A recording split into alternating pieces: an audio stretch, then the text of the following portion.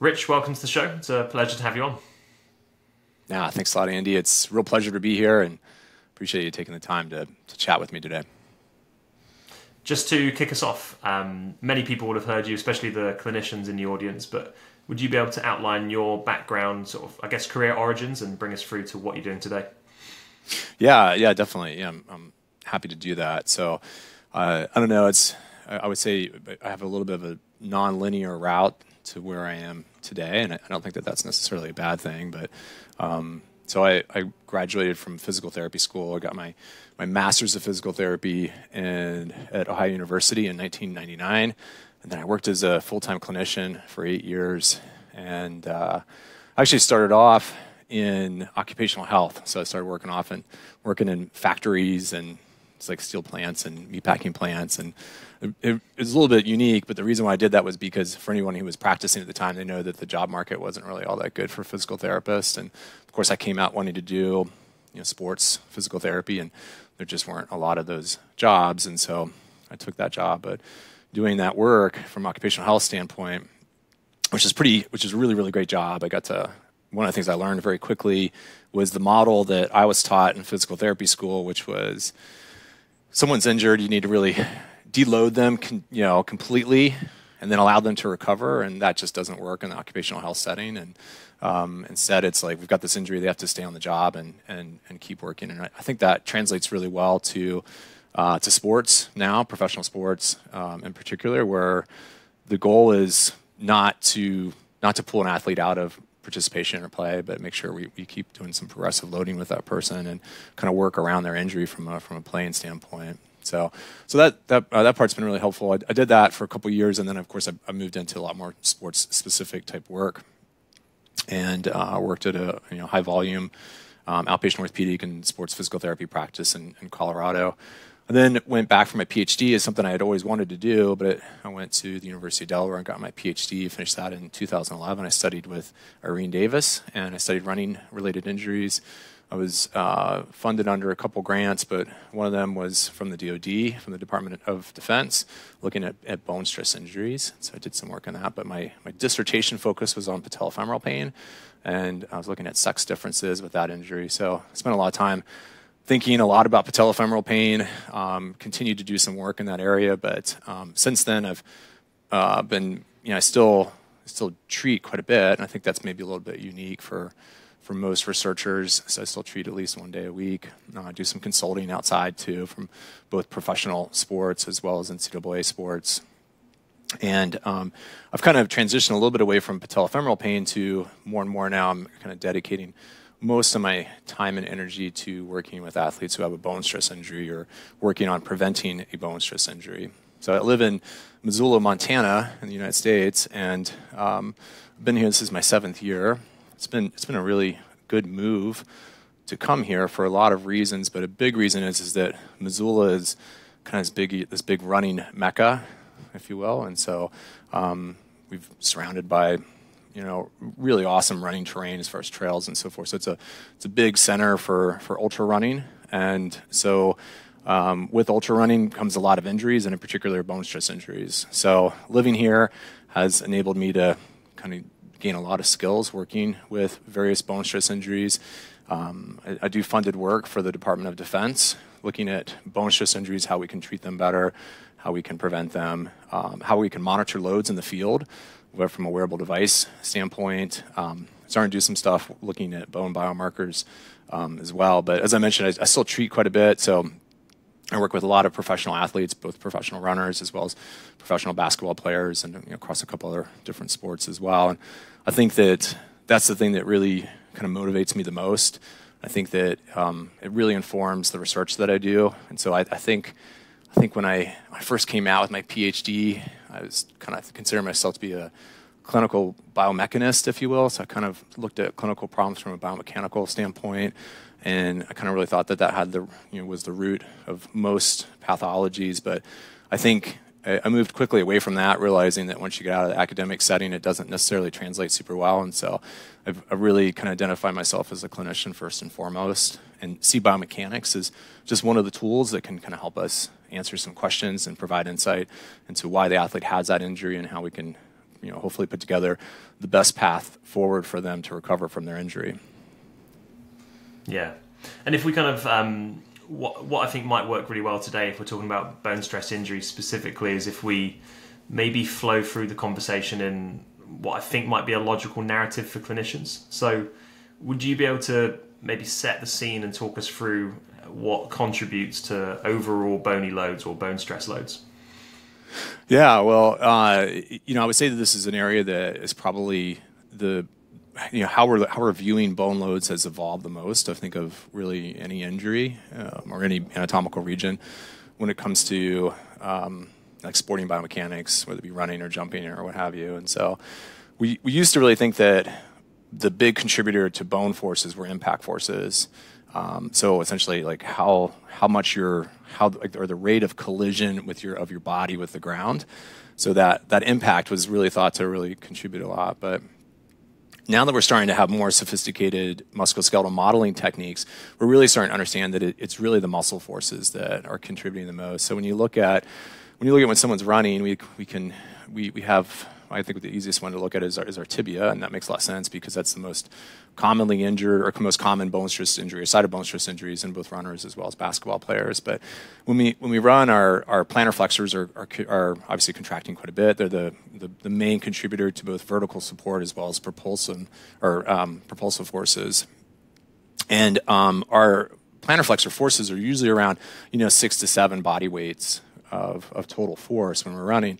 And then when we look at the tibia, uh, our tibial bone forces end up being around around 10 to 12 body weights of compressive forces when we're running. So that's a tremendous amount. And so what you do is for usually when we're, we're thinking about ground reaction forces, our impact forces, those are around two to two and a half uh, body weights of force. So if you can add those two together, the plantar flexor forces plus our ground reaction forces, you can see that our muscle forces represent about 80% of the total force that is being applied to a bone. And so when we when we start thinking about kind of re I guess reframe what like our view of what is contributing to to bone forces and shift away from impact forces more to muscle forces, that can really inform how we're evaluating workload in runners and basketball players and soccer players, uh, and can also really inform how we're designing rehabilitation programs uh, as well.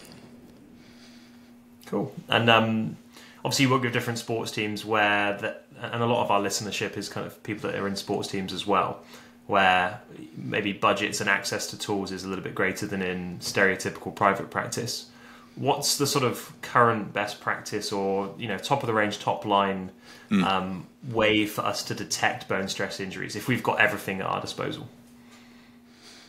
Yeah boy that's a great question. And i think I, I, I think that this is this is a question that, that gets sent to me quite a bit. Like what's a sensor that we can get for our team or that we should consider getting for our team that can help either monitor bone forces when someone's running and jumping and cutting um, or one that we can use that can help guide rehabilitation afterward and after some sort of bone stress injury. And so um, I would say that the the most common one that you're going to see is some sort of accelerometer that's going to be attached to the limb. So you know, if, you, if you're watching the video of this, I've got this like this this, this IMU or, I'm this inertial measurement unit um, here, and there are various different models of that. So some insole ones like Plantiga makes one, uh, some other couple companies out there too. But what those are measuring is those are measuring like limb acceleration. In other words, that it's really focused on that um, that impact force.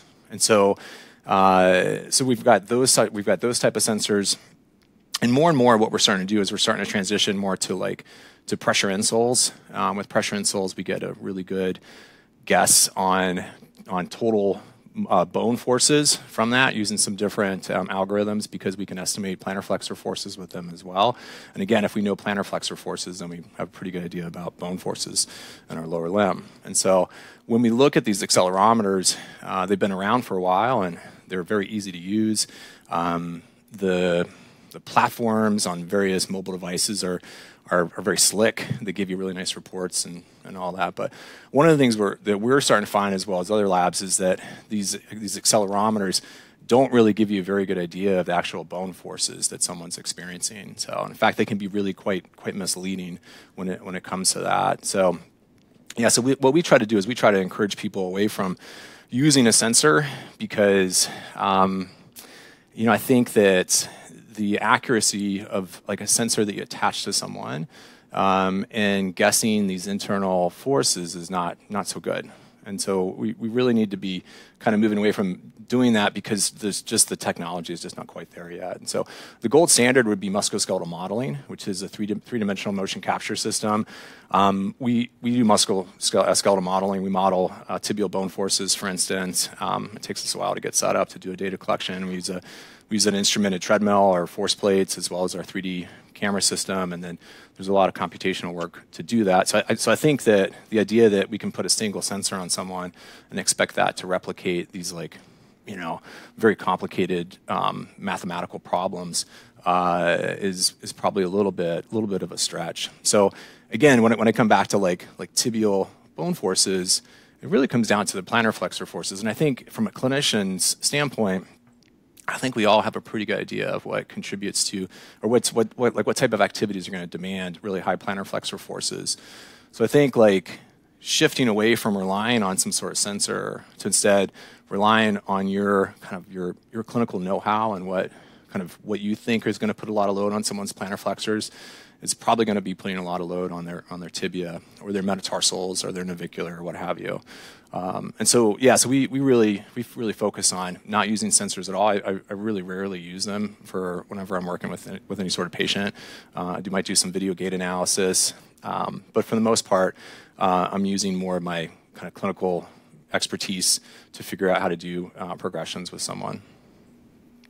Is there any, and it doesn't have to necessarily be tech, but is there any lower tech or more realistic things that people can use. You know, maybe you lose the accuracy, of course, that you wouldn't get with motion capture and, um, and modeling. But is there simpler ways people can uh, look at maybe kinematics or anything like that, where you would say, you know, you lose the accuracy, but it's still got some value?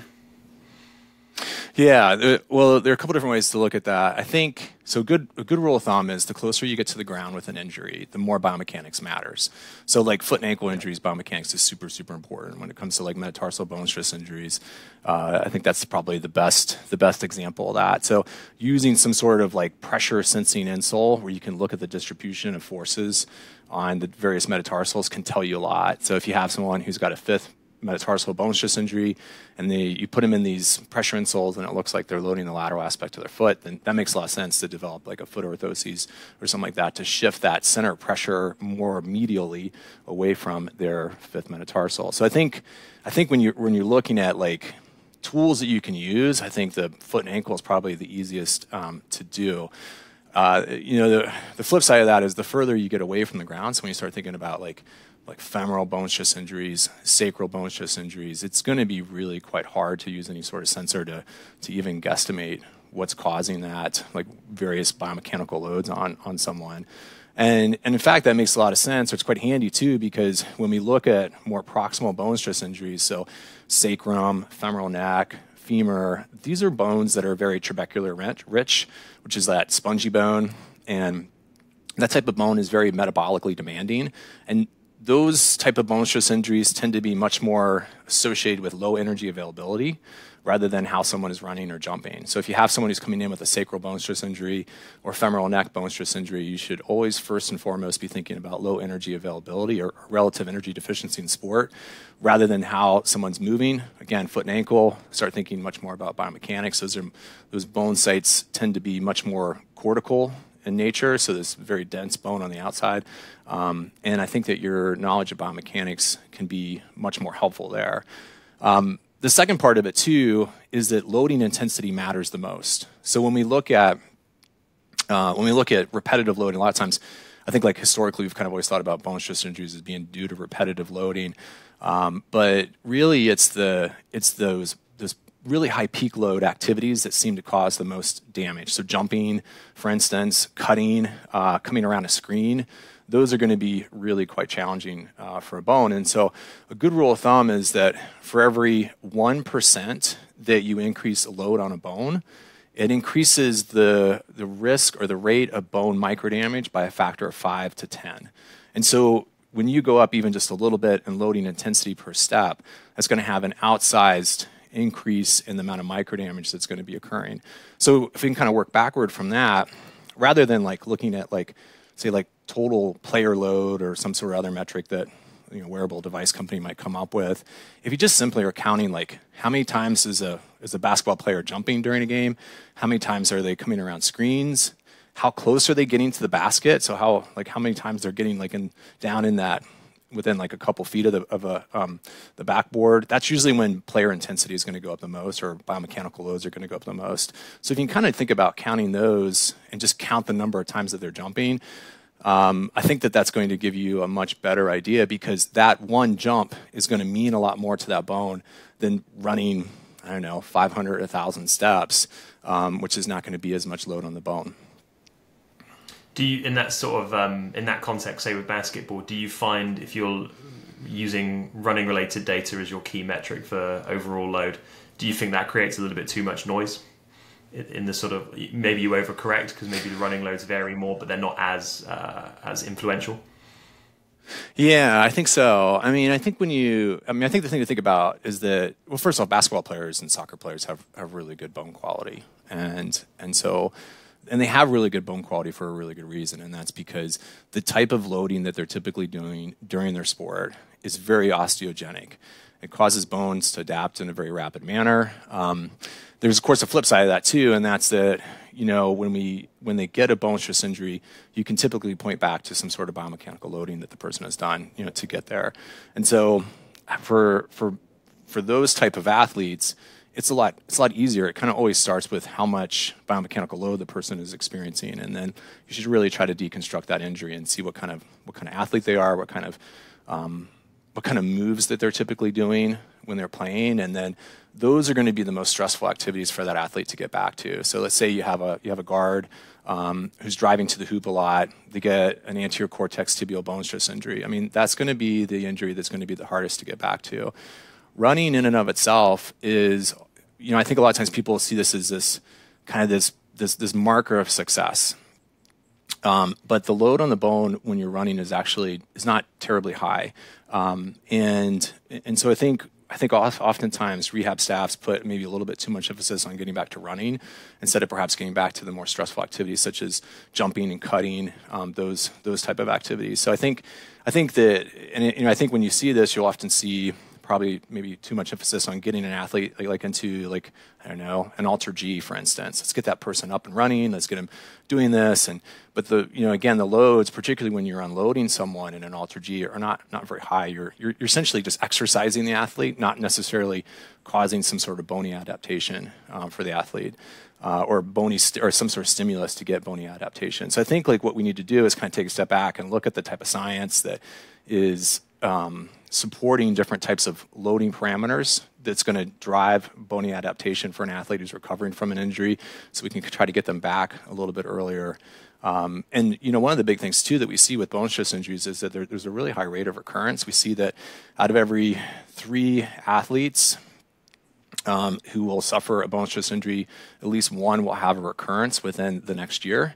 And so that tells you that we're probably not doing a very good job of getting these athletes back to sport um, as far as like preparing them for those player type loads that they need to be ready to be experiencing. I wonder if, like, if, if when clinicians aren't maybe grounded enough in principles and sort of like a criteria based system, return mm. to running is just such a catchy phrase, A, but I think it becomes yeah. this kind of landmark moment of like in a lot of different injury contexts, return to running is a big point in time, and then the next thing we're thinking about in sort of vague language is return to play or return to train, return to play, return to perform. I think sometimes like the semantics of how we verbalize rehab sometimes distracts from us thinking in sort of foundation sciences of like what's the actual force, what supersedes this, what what order are we kind of ranking our rehab uh, interventions and stages in. I just wonder if sometimes like the language we use can sort of distract us from what we actually need to do.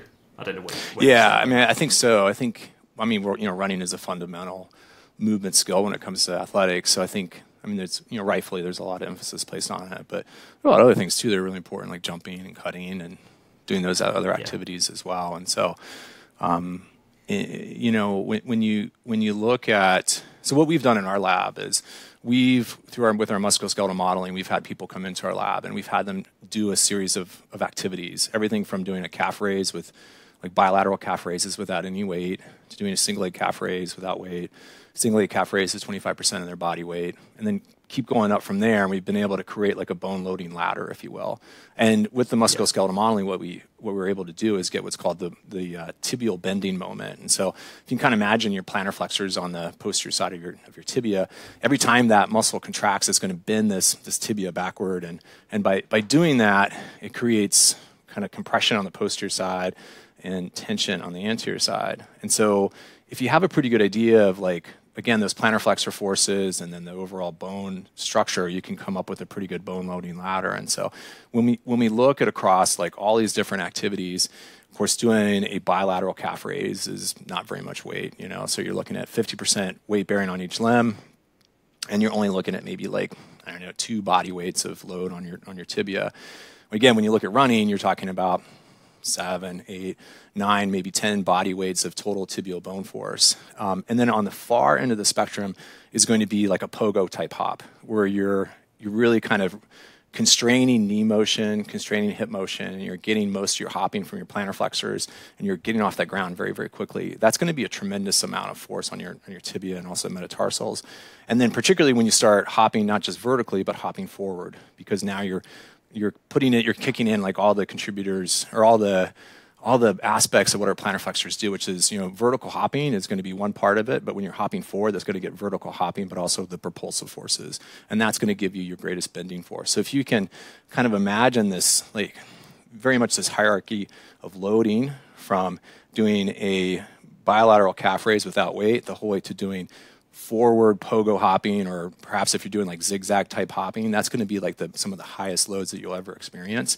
Um, and when you think about like forward pogo hopping, that looks very much like a layup or driving layup or like a Euro type step or something like that. And so, in order to get your athlete ready to be doing those things, you should be doing some sort of pogo type hopping in the last I don't know, phase of your rehab as you're starting to get your athlete back. Now, the cool thing about understanding these bone forces is that we need to make sure that we're understanding that the force on a person is a lot different than regional bone forces. And so when we're thinking about like doing, I don't know, like for instance, in Know, in professional sports, for instance, there's a, a lot of emphasis on like counter movement jumping or force plate testing with someone.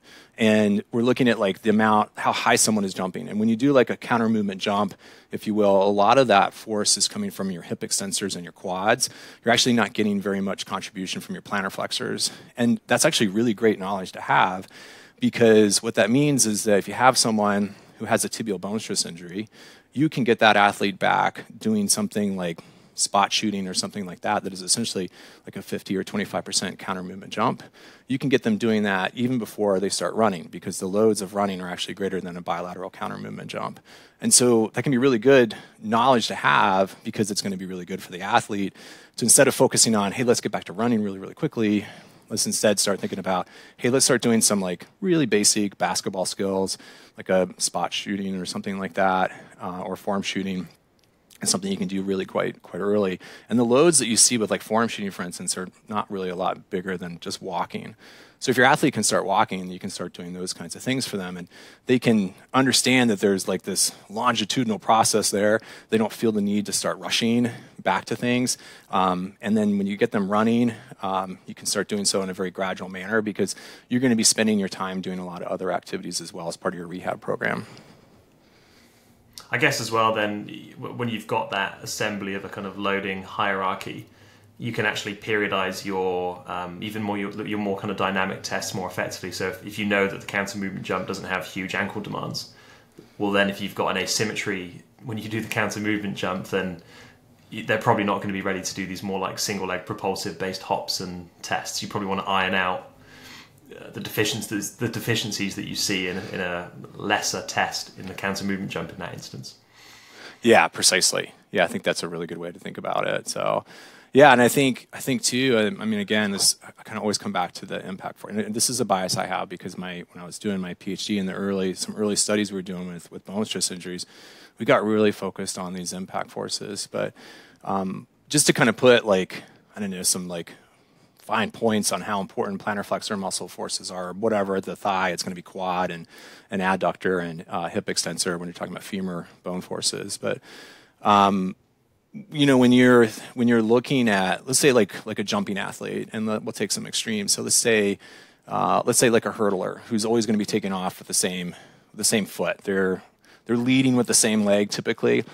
The of course your impact forces on your leading leg are going to be the greatest, but your your jumping leg, the plantar flexor forces are going to be greater. If that makes sense, or your, your trailing leg.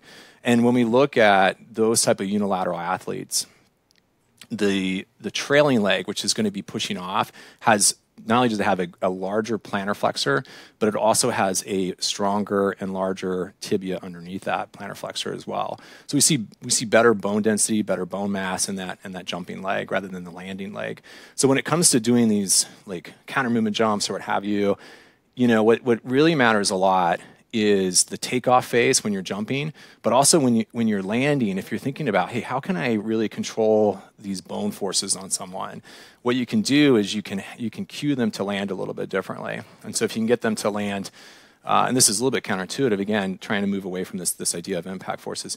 Cueing someone to land soft versus landing just a normal landing. A softer landing increases bone forces by about 15 to 20 percent, and that's because our muscles are going to be attenuating that landing. And so you can kind of work backward from that too if you're thinking about like building up some sort of like a like a some sort of progression. Doing a a jump up onto a box or something along those lines is you're you're really only getting one cycle of bone loading out of that versus when you're doing like a true counter movement jump, you're getting a loading on the bone when you take off and then a loading on the bone when you land. If that makes sense. Yeah. Just as a, a bit of a tangent, you know, if we're kind of thinking about, I guess, muscle tendon unit efficiency there and how that uh, interacts with it, how much do you dig into sort of a history of maybe Achilles injuries and things like that. Where how much do you or how much overlap do you see between um, Achilles injuries and maybe future bone stress injuries? Ah, yeah, that's a that's a good question. Um, some, yeah, definitely some. I think I think there's some metabolic issues that affect both tendon as well as bone, and so I, the most obvious one would be like, so like if an athlete is taking a lot of NSAIDs, um, for instance, like NSAIDs upsets that collagen formation cascade that's going to decrease tendon health and it's also going to decrease bone health as well. And so sometimes you'll see some overlap of, of, of risk factors. Um, but, uh, you know, a lot of times they end up being different athletes. And, and, and I'm not, I'm not always entirely sure why that might be. I mean, I think I mean they're basketball players or soccer players, so they're going to be loading both their bones and their tendons quite a bit. So yeah. it is not unusual to see these injuries in the same person. But as far as like overall risk factors and why they why they might contribute, why they might kind of might see them the same athlete. I'm not, I'm not sure if anybody's really looked into that um, a ton. I would I would say that a lot of times for when we when we look though at like some workload stuff, tendon is tendon's pretty unique in that it it's obviously this big energy storage and release structure. So when we're jumping and running, like for instance, our Achilles stores about 35% of the total work of running and then is going to return that. So it's this big point of efficiency there. And so, uh, so when we're, when we're looking at, at doing any any type of jumping activity, your, your, your higher jumpers are going to have greater tendon forces, and then your higher jumpers are also going to have higher bone forces as well. So I think from, from that aspect, there is probably going to be um, some overlap as far as from a biomechanical loading um, standpoint. But when you're, when you're looking at two athletes and they are both, they, are both like the same body mass, um, they both can same play in the same style, um, and they are both jumping the same height the athlete who has the smaller bone is going to have the, is going to get that bone stress injury first. So the easiest way to kind of look at this is like is, is ankle width. So malleolar distance or width. If you can kind of look at that, is actually a really good predictor of the like how thick or how wide someone's tibia is. It's also a very good predictor of like like the bone geometry across the whole body. Is that that malleolar width? So if you're looking at like, hey, if I who's going to be at greatest risk for developing a bone stress injury, we should be looking at like bone structure, and of course, the easiest way to do that is with like a like a DEXA, if you will, um, or if you're getting really exact, you can do like uh, you can do PQCT, which is going to give you an estimate of bone strength. But if you're just looking to do like kind of some some shotgun measurements, if you're looking at the athlete who has the skinniest ankle is going to be you know really the greatest risk for, for developing a some sort of bone stress injury. And you can also take this down to the foot too. When you look at like um, like like metatarsals, like the greatest risk for some sort of metatarsal bone stress injury. Someone who has kind of very long and slender feet, um, that person is going to be the greatest risk for developing a bone stress injury because now you've got a, a bone that is very long and it's typically going to, going to, be very skinny, and because of that, it's going to be very, very flexy when they're kind of pushing off the ground and and, and cutting. Um, what I just described is someone can also jump very high as well too. You know, that's some, usually those those people they, they tend to be kind of have less mass on their lower leg, and um, so I know I'm kind of being a little bit. Uh, circular in my logic as far as like coming back to your, to your point, but I, I can I can kind of see that there would be some overlap. But I, I, have to tell you, I don't think anybody's ever actually looked into that. So I, I, would say that when you look at the the understanding of bone forces and what are risk factors for bone stress injuries in non-runners and non-military, we we really don't know that very well. Um, we know that these these sorts of athletes get much different bone stress injuries than runners, um, much different bone stress injuries than someone who's in the military. There's a lot of similarities between the type of bone stress injuries that like someone who's going through basic combat training might get and your average endurance runner.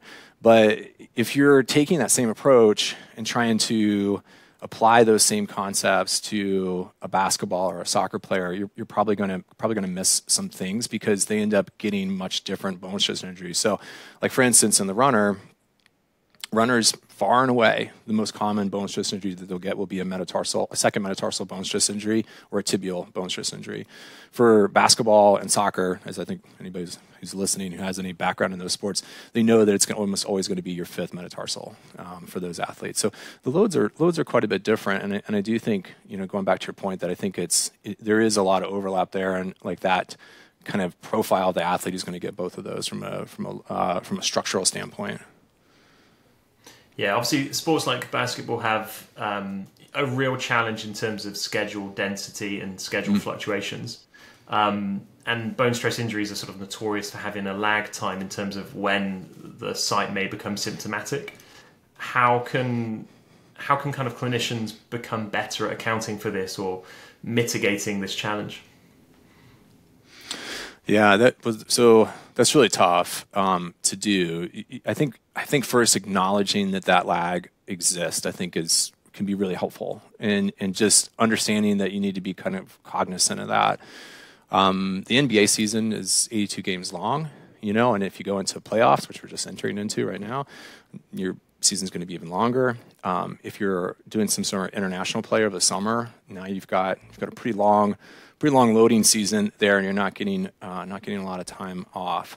Um, and what you kind of described is, you know, what we see at the very beginning of, and the NBA does a really good job of tracking these sorts of things. You see that bone stress injuries peak in the NBA six weeks after the start of training camp, and that's because like athletes are coming in, maybe they took some time off for the summer, maybe they took too much time off, and they're um, or they didn't do the type of loading that they should have been doing over the summer to prep themselves for you know the, this big jump in overall bone workload when they report to their team.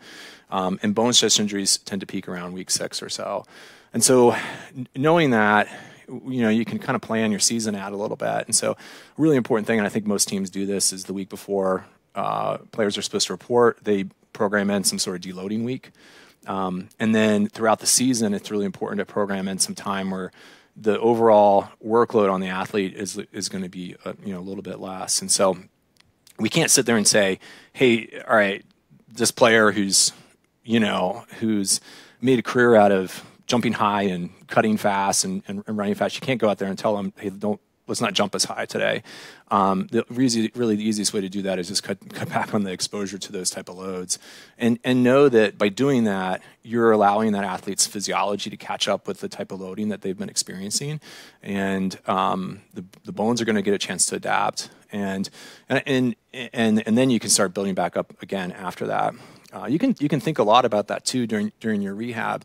And again, I'll kind of go back to the idea that bone, the biomechanical loading intensity is the most stressful for, for bone when it comes to accumulating bone microdamage. And a really important thing when you're thinking about from a rehab standpoint is as you're as you're progressing an athlete back to more and more stressful activities. So let's say you're doing things in a very kind of controlled manner in your in your clinic.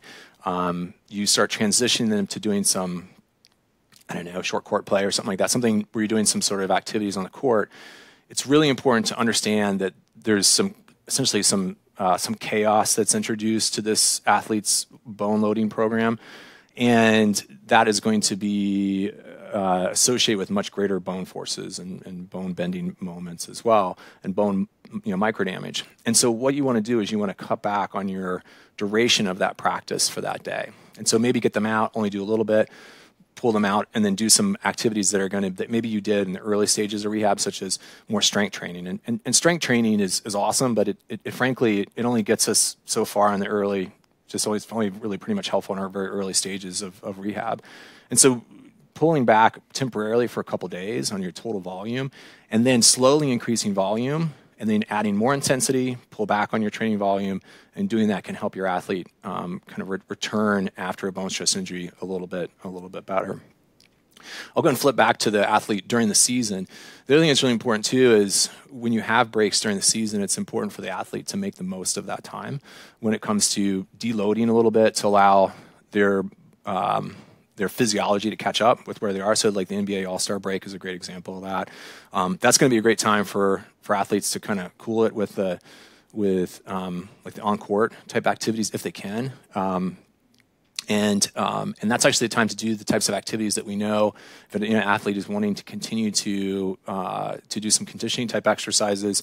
It, it's the time to do activities that are not what we would typically consider to be very osteogenic. So things like I don't know, stationary cycling would be a great example. Um, so doing intervals on a bike would be there's not a lot of bone load there. Um, the athlete can still stay very fit, um, but because it's not loading the bone a lot, the bone can recover and uh, can then gain some strength. And then when you go back to you know full play, you're going to be you're going to be good to go.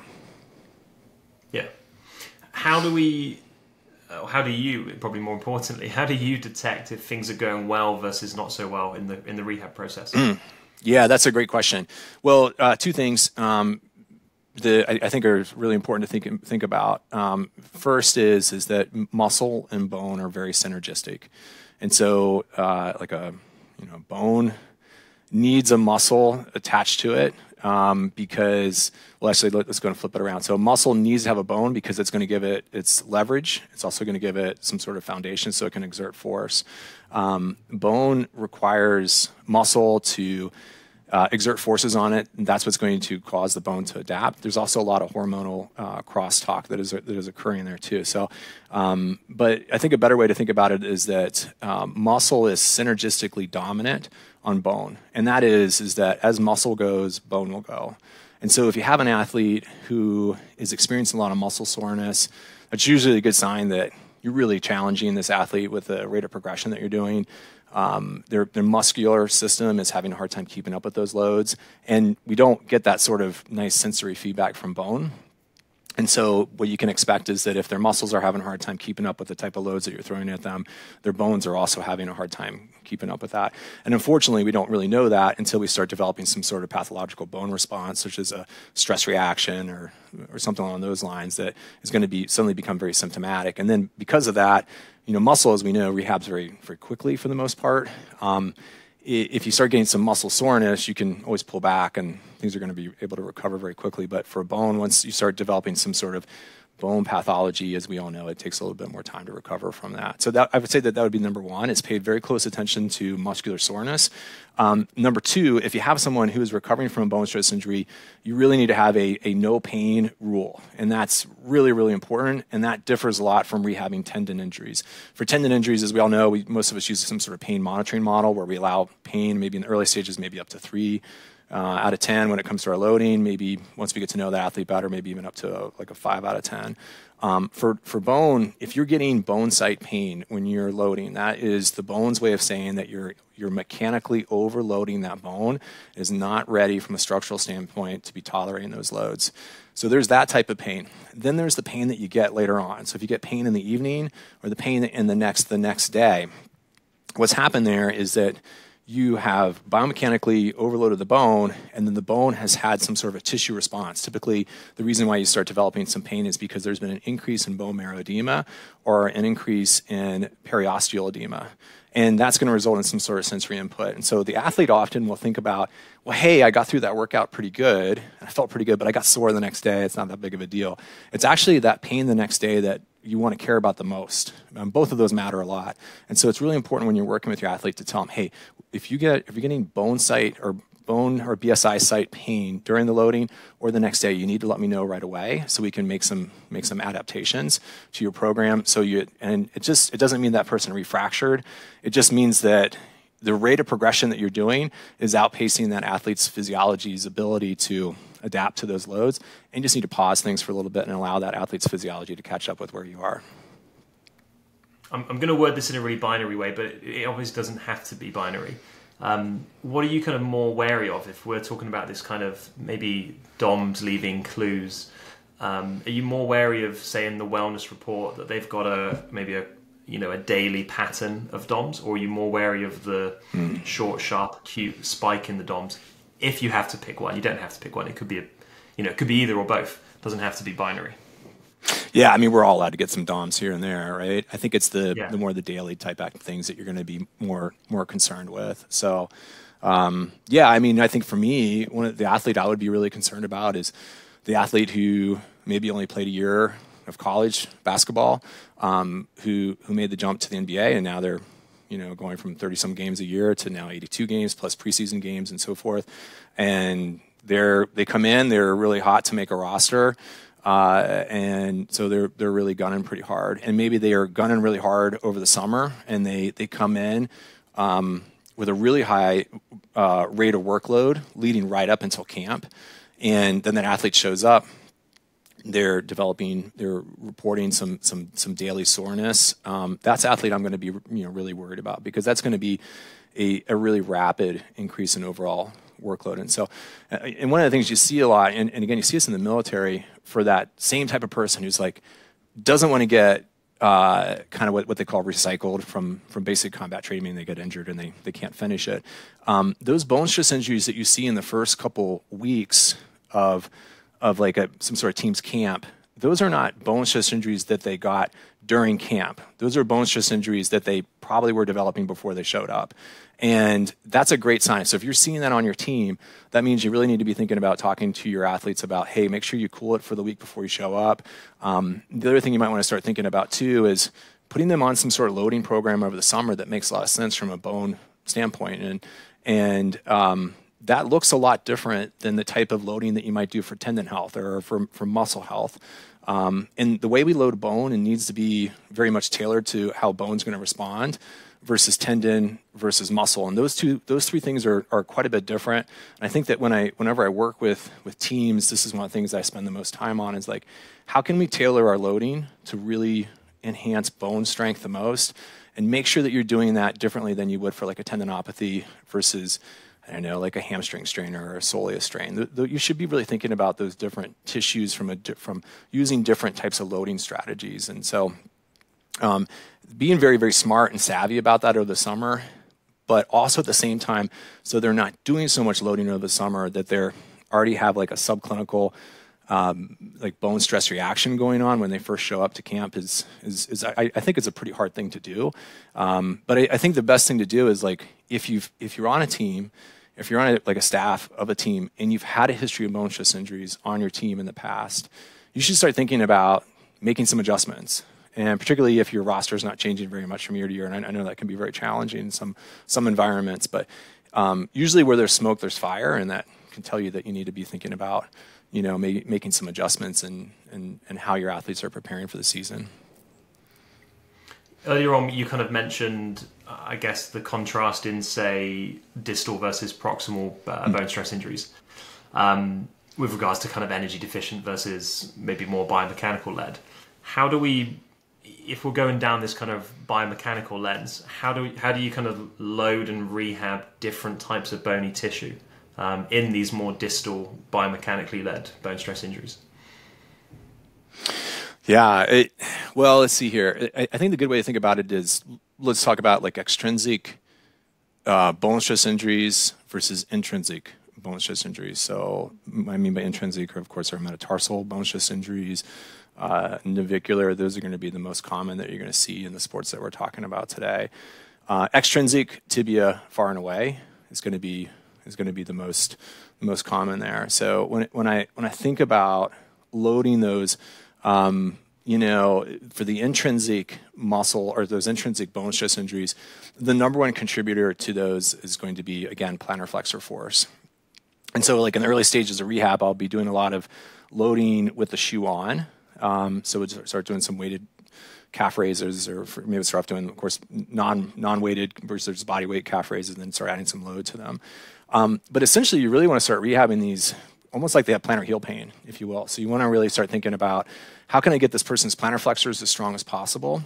And then once you get to a certain point, then you want to start taking that person's shoe off. And the moment you start taking the shoe off, I think shoes i think a great way to think about a shoe is that it's like essentially this this um, this exoskeleton on the foot and it shields those those intrinsic foot musculature from from loads and so when, as soon as you take that shoe off you need to drop down and weight and then continue to um, doing your calf raises with some sort of load. But of course you're going to need to drop down and load too because now that foot is not as stable there's a greater demand on the foot musculature and that's going to put greater load on the on the metatarsals. Um, and then the other thing too, when you think about like what's the biggest contributor to these intrinsic bones when it comes to forces, um, it really ends up being like again that that high intrinsic muscle force contraction, uh, but also the windlass mechanism as well. So the higher you get up on your toes, if you will, and then again this goes back to this: if you're dealing with someone who's got got you know plantar heel pain or plantar fasciopathy, the more you get up on your toes, the more you're going to engage that, that person's windlass mechanism, the greater the bending and twisting forces are going to be on the metatarsals and the, your, your uh, navicular. And um, that's going to help that athlete get back to playing. Of course, they're not going to be playing without their shoes on. But what you kind of want is you want to have a person who has you know bone bones that are stronger than what they need when they go back to playing basketball or, or, soccer and so doing doing some some heavy stuff without without your shoes on matters a lot for those for those intrinsic uh, bone stress injuries. For for extrinsic, for tibia, I don't. I mean, I think it's really important to do the opposite. You really need to keep the shoe on, because when you when you're doing loading with the shoe on, that means you can lift more weight. And for me, with most of these injuries, I always think about how can I get more load on this person, and, and like in particular on this person's site of injury. And if we can do more load with the shoe on, that means they can they can plantar flex more. They're going to get more you know greater plantar flexor forces on their tibia.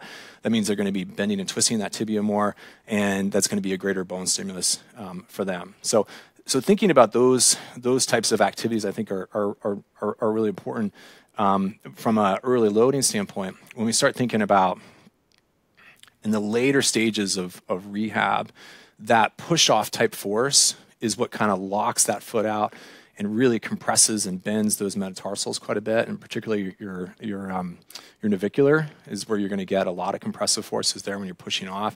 So thinking a lot about spending some time doing those type of activities, uh, or that's going to be your most stressful thing for those for those intrinsic foot injuries. For the tibia, far and away the most stressful thing is going to be doing some sort of jump with a that's coupled with some sort of cutting activity so like a slashing move to the basket followed by a layup that's going to be the most stressful thing for them to get back to and so making sure that you're working some of that stuff into your program in the later stages in a very progressive manner and counting how many times they're doing those drives to the hoop um, when you're doing this return to court activities, I think is going to be really important to make sure that you can very progressively increase the amount of loads that this person is, is doing. And obviously, kind of, if they become symptomatic, that's a that's a red flag. Um, is there a sort of uh, people are always going to ask you, I'm sure, for these numbers of um, what percentage number of reps can you increase by per week or percentage, uh, you know, force how aggressive can we be in terms of like daily or weekly changes? Well, yeah, a lot of it depends on the side of the bone, the bone stress injury. So when you look at like a bone stress injury that's on a diaphyseal type bone, so like a, a cylindrical bone, like a like a metatarsal, those you can start loading pretty early, and you can you can progress them pretty quickly. When you're talking about like a like an irregular shaped bone. So navicular is the best example of that. Um, those you have to progress much slower. So I usually progress those about 50% as fast, just because it's they're just not structurally as strong and they, they tend to heal a lot slower. So so I think that I think that's one thing I'm always concerned. Let's think about like how how can we control the loads on this bone and is it is it is the bone going to adapt very quickly? Um, up at the tibia those the the anterior cortex bone stress injuries are the most difficult, I think, to rehab, and the, there are a lot of those in the, in the NBA. Um, and when I do consultations, I would say that that's the type of athlete that I end up being involved with the most from start to finish. Um, they all require surgery. I think that that's an important thing to you know talk about. It's like when to do surgery, when not to do surgery. Um, you know, if you have an athlete who has some sort some sort of cortical disruption of their tibia and the anterior cortex, because that, that those plantar flexors are going to bend our, our tibia backward. You can kind of imagine if you've got like some sort of crack there. Every single time that that your plantar flexors contract, it's going to it's to open that up and it's going to crack that. It's going to not going to allow that diaphyseal crack to actually heal. And so those need to get surgery you know right away. You really don't want to wait on those. But as you move forward through your rehab, controlling those loads on the anterior tibia are, are, are really very, very difficult. And so, um, for those athletes, I, I, tend to do it on a player by player basis. I tend to like to be involved with the progression or or work with the team to try to tell them about these are the things you should be thinking about. These are going to be the most stressful type of loading activities that, you're going to be able to get to, or that this person's going to be have trouble with, and set up some guidelines for them to, to run an athlete through this whole progression for the athlete. Um, and, and, again, the, the simplest are going to be these diaphyseal type bone stress injuries like metatarsals. Those those heal really um, quite quickly. The more complex ones, which are going to be like tension bone stress injuries like that anterior cortex BSI that I mentioned, or a navicular BSI because it's such an irregular shaped bone, and there's a lot of different forces that are being experienced there. Blood supply is not so good as well. Um, those more complicated ones, I think, really need to be done on a, on a player by player basis. And so I, would love to say that there's some sort of magic number, um, but generally speaking, you know, as you're going forward. Um, you know, I always think about well, first off, if, if, you, if the athlete experiences pain, it's it, it's okay, and it's not. It's really important not to panic, and that's the thing I always I always tell myself still to this day, and I always tell other you know practitioners that I'm working with. Don't panic if it happens. Know that it will. That usually is a great sign that you're going, you're progressing this athlete just as fast as their physiology is going to adapt to it. And and explaining that to the athlete, hey, you got you got sore. That means our progression's right on target. It's not a big deal. Let's just take you know take a step back here. And so usually what I'll do with that athlete who does experience some symptoms with a loading progression is we usually take two to three days um, off from loading to allow things to kind of settle down. Um, we'll do a lot of cross training at that time. So again, we'll go back to something that is not very osteogenic from a loading standpoint. So stationary cycling is going to be a really great thing to do. Um, maybe even like someone who's in the early stages um, maybe get them in the pool, like doing some aquatic therapy for a day or two, just let everything kind of simmer down, and then uh, restart your progression. Then at that point, and if you have a high risk bone stress injury, a good idea is to actually take a whole step back from where you were. So maybe instead of doing the activities that got them flared up, go back to the activities that you did safely before and make sure you can do those again and then ease back into what was the thing that got them sore. And then usually once you do that it's, it's not that not that big of a deal. Um, almost almost every athlete recovering, particularly from these what we call high risk bone stress injuries, those are usually the ones that require surgery. Almost every one of those athletes is going to have at least one or two episodes where they get sore, and and it's really important for everybody to kind of I think maintain a level head and have a strategy going into rehabbing these athletes because it is going to happen. And I would say too, if you're not, if it doesn't happen to you occasionally, that means you're probably underloading your athletes and you're not you're not probably not progressing them as quickly as you as you might be able to.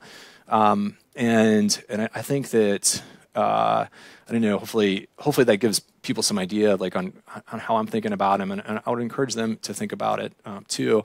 I think our, our, our biggest, I don't know, the best way to kind of think about how we rehab bone stress injuries now. I think I think about this analogy the other day is like it's it's it's very reminiscent of how we rehabbed ACL reconstructions in the 90s and when I was going through PT school, where we would have people, they rupture their ACL, they would go through an ACL reconstruction. We would do a lot of straight leg raises with them, a lot of quad sets, maybe some squatting, and then we would then we would gradually put them back out to play.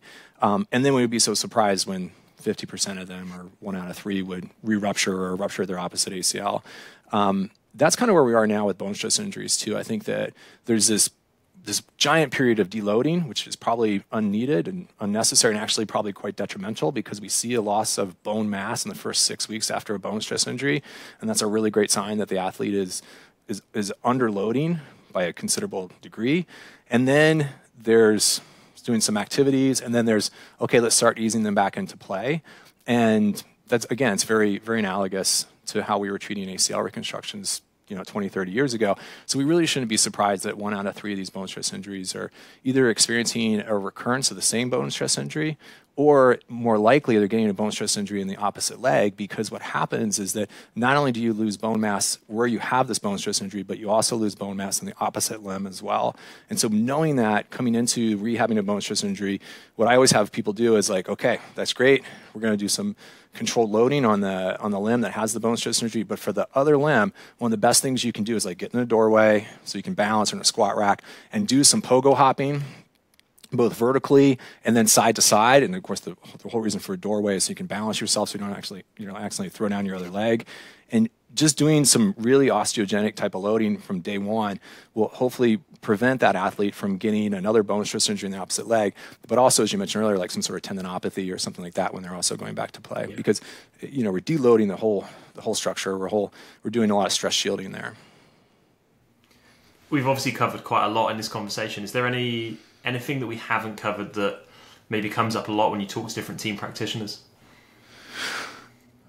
Yeah, I mean, I think, I mean, I think that we, we hit on them a couple of times, is like, what, what kind of sensors can we use? And I, again, I would recommend not not worrying about using some sort of sensor instead, just understand like what increases plantar flexor loads. I think that that's going to be a, really uh, really important thing. Um, and you know, I think the other thing we didn't really talk about that is quite important is that bone responds really well to loading, um, high magnitude loads, um, but its sensitivity or the amount that it's going to respond to those loads declines very, very quickly during an exercise session. And so when you have an athlete uh, who's recovering from a bone stress injury, the way to kind of think about this is first off, you want to do your most osteogenic activities at the very beginning of the session. And so instead of like easing into those things, you really need to be thinking about doing like your key bone loading exercises at the very beginning of the session. So um, I'll just think about like plyometrics, which are going to be the best thing for a bone. You want to do that at the very beginning of the session when the bone is fresh and when the muscle is um, is able to generate the most amount of force to it second thing is because we start to lose bone sensitivity after you know 50 60 70 uh, loading cycles um, you really want to keep your loading cycles or loading sessions very brief. And so uh, it, it's much better to do to take uh, a bone loading program and split it up and do it three times per day than to do one big bone loading session once per day. Because what you're doing towards the end of that loading session is not going to be very helpful for the athlete. It's not going to be very helpful for the bone. It's just going to be accumulating more micro damage, and you're not going to be generating this very adaptive bone response that you want to be getting. So, so I think that brief loading sessions scatter throughout the day, and, and the best way to kind of think about that would be like you wake up, you do some jumps. Um, right away. then your athlete maybe um, comes in to the for rehab. They do some uh, some prescribed loading with you, and then maybe you go and do some less osteogenic activities such as like I was saying, like form shooting or something like that, where you can, okay, we're, it's not like we're going to just have them come in and jump 40 times while you watch them. You're still going to go do some other activities with them. So um, do that, maybe do some conditioning stuff, but know that that stuff that you're doing is not doing anything to enhance that athlete's um, healing for their bone stress injury, just helping them build overall conditioning. And then in the evening, the thing to do is do another loading session toward the end of the towards the end of the day. So another, I don't know, like three sets of ten or three sets of twenty um, pogo hops, for instance, would be would be the way to go. So there's that with, from a rehab standpoint. Then during the off season, the way to kind of think about it is to still use that same principle it's not like the athlete from a bone health standpoint. So let's say you have an athlete who's had a that you think is at risk for a bone stress injury or has had a bone stress injury in the past. One of the best things you can have that athlete do during the off season is it's of course it's really important to get in the weight room and, and do those kinds of activities and some other conditioning things.